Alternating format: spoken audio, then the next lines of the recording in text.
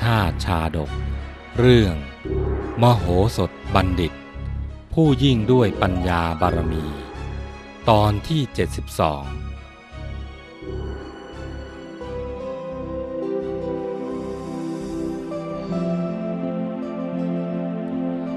จากตอนที่แล้ว มโหสถได้พานางอมราเข้าสู่พระราชวัง เพื่อขอเข้าเฝ้าพระนางอุทุมพรเทวี โดยบอกนางว่า จะพาไปให้รู้จักกับพี่สาว พระนางอุทุมพรเทวี ซึ่งประทับอยู่เหนือพระแท่นบัลลังก์ครั้นเห็นมโหสถ จูงมือนางอมราเข้ามาใกล้ ก็ตรัสทักว่า น้องรักของพี่ รู้ไหมว่าพี่เนี่ยกำลังรอเธออยู่นะนางอมราได้ยินพระนางเจ้าอุทุมพรเทวี ตรัสทักทายสามีของตนเช่นนั้น ก็รู้สึกแปลกใจ จึงเหลียวมามองมโหสถผู้เป็นสามี ด้วยสีหน้างงงวย จากนั้น มโหสถก็ได้กราบทูลแด่พระนางว่า ภารกิจสำคัญที่พระนางทรงมอบหมายให้ไปปฏิบัติ ได้สำเร็จแล้ว นางผู้นี้นะ คือผู้ที่ข้าพระบาท ปรารถนาจะอยู่เคียงข้างตลอดไป พระนางทรงพิจารณาดูแล้วก็ทรงพอพระทยัยจึงรับสั่งกับนางว่า ในเมื่อมโหสถเป็นน้องชายของฉัน เธอก็เท่ากับเป็นน้องสาวของฉันเหมือนกัน ตรัสดังนี้แล้ว พระนางก็ทรงปรารภที่จะนำความเรื่องนี้ ขึ้นกราบทูลพระราชสวามี มโหสถจึงถือโอกาสนั้นทูลลาพระนาง แล้วพานางอมราไปยังเรือนหลวงของตน จากนั้น มโหสถก็ได้เล่าเรื่องราวของตนทั้งหมดให้นางทราบ ฝ่ายนางอมราเมื่อได้ทราบความจริงทั้งหมด ก็รู้สึกตื้นตันใจ กล่าวกับสามีว่า ไม่ว่าพี่จะเป็นอะไร น้องก็ขออยู่เคียงข้างพี่ตลอดไป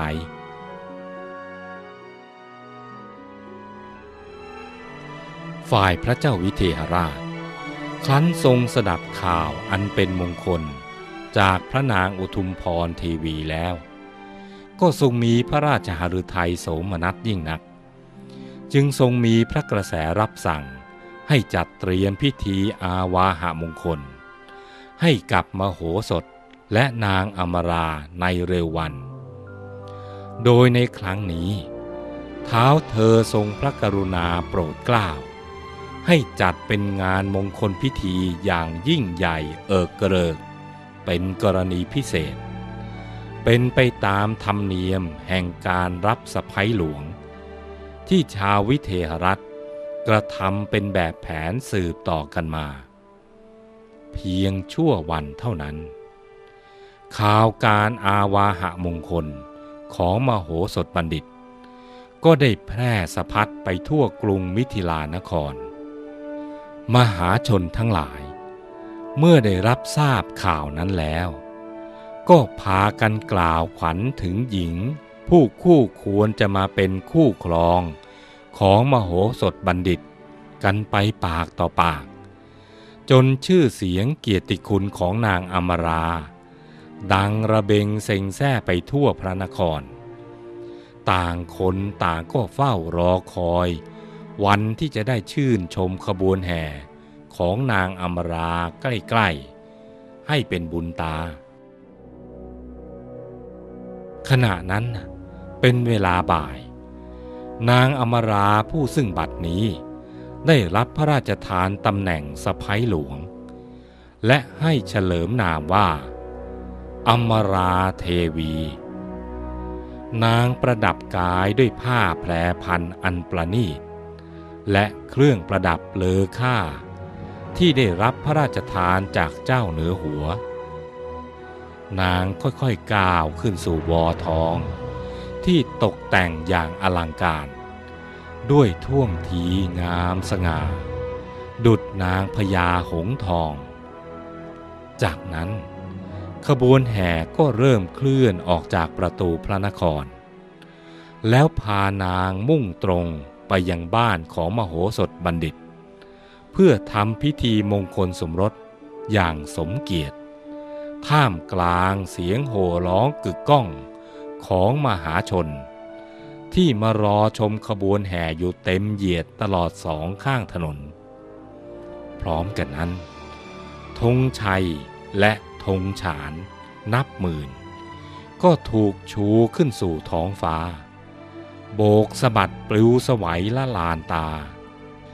ทุกดวงตาทุกดวงใจของมหาชนนับแสนในที่นั้น ล้วนเล็งแลไปยังขบวนแห่ของอมราเทวี ด้วยความชื่นชมโสมนัส เปล่งวาจาสะดุดีกันอื้ออึง เพื่ออำนวยสุขสวัสดีแด่นางด้วยความจริงใจ นอกจากนางอมราจะได้รับเกียรติสูงเกินกว่าที่นางคาดคิดแล้ว นางยังได้รับพระราชทานทรัพย์ เป็นสินกำนันอีกถึงพันกหาปณะแม้แต่บรรดาชาวเมืองทั้งหลาย ต่างก็นำบรรณาการอันสูงค่า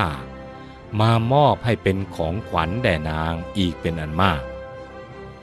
นางรับทรัพย์สิ่งของเหล่านั้นมาแล้ว ก็ได้แบ่งออกเป็นสองส่วน ส่วนหนึ่ง นางได้ทูลกล้าวถวายคืนสู่พระคลังหลวง อีกส่วนหนึ่ง นางก็นำมาแจกจ่ายเพื่อสงเคราะห์แด่ชาวเมือง เพราะเหตุที่นางเป็นผู้มีรูปงามน่าดูน่าชม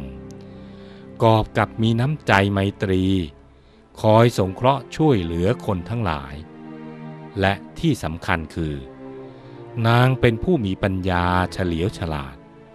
รู้จักต้อนรับปฏิสันฐาน และสนทนาปราศัยกับชนทั้งหลายได้อย่างเหมาะสม ในที่สุด นางก็สามารถกลุมหัวใจของชาวมิถิลานครไว้ ได้เป็นอย่างดี และจำเดิมแต่นั้นมา มโหสถบัณฑิต ก็ได้อยู่ครองคู่กับนางอมราเทวีอย่างมีความสุข ในขณะที่มโหสถบัณฑิตกำลังรุ่งเรืองอยู่ในแคว้นวิเทหรัฐ เป็นถึงราชบัณฑิตผู้ใกล้ชิด ซึ่งพระราชาทรงไว้วางพระไทย ให้ทำหน้าที่ถวายอนุสาสในข้ออัดและทำอยู่เสมอ ตรงกันข้ามกับราชบัณฑิตทั้งสี่ซึ่งนับวัน รัศมีอันเคยโชดช่วง ก็ค่อยๆอับแสงลง ดุดแสงหิ่งห้อย ที่ไม่อาจแข่งสู้แสงอรุโนไทยได้ ก็จะค่อยๆถูกแสงอันเจิดจ้านั้นคมจนหมดรัศมีไปในที่สุด แต่แทนที่อาจารย์เหล่านั้น จะยอมรับโชคชะตาของตน แล้วเร่งเพิ่มพูนปรีชาให้แก่ตน เพื่อจะได้ช่วยกัน สนองงานราชกิจ ซึ่งมีอยู่มากมายหลายส่วน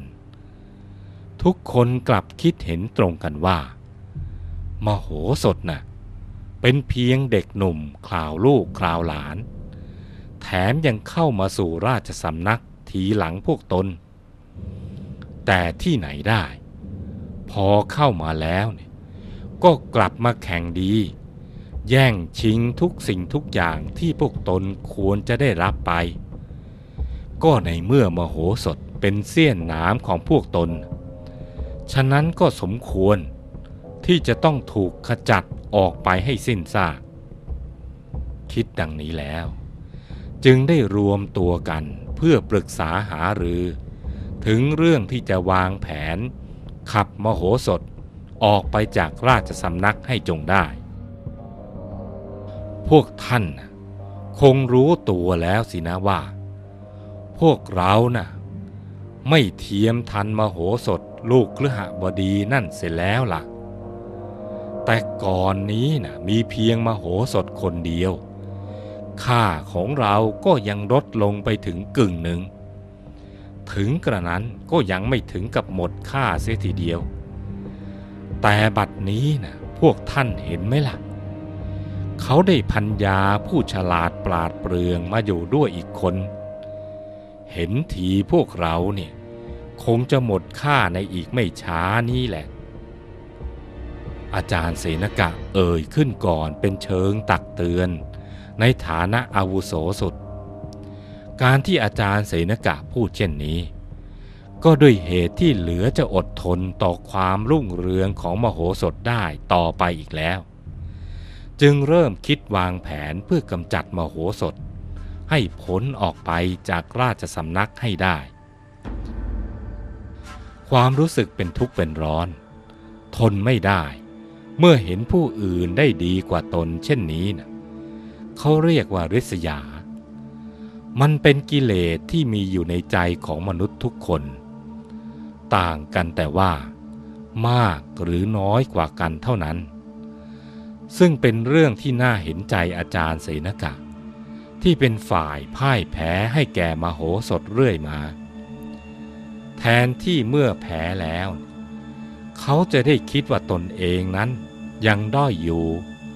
แล้วพัฒนาเพิ่มคุณค่าตัวเองให้มากขึ้น แต่กลับคิดจะทำลายผู้อื่น ซึ่งไม่ใช่วิสัยของบัณฑิตเลย ส่วนบัณฑิตที่แท้จริงนั้น เขาจะคิดแก้ไขปรับปรุงตนเองให้เจริญขึ้นอยู่เสมอ ดังนั้น ผู้ที่เป็นบัณฑิต จึงมีชีวิตที่มีความสุข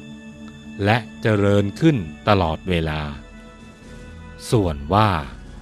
แผนชั่วของอาจารย์เสนกะในคราวนี้ จะรุนแรงแค่ไหนนั้น โปรดติดตามตอนต่อไป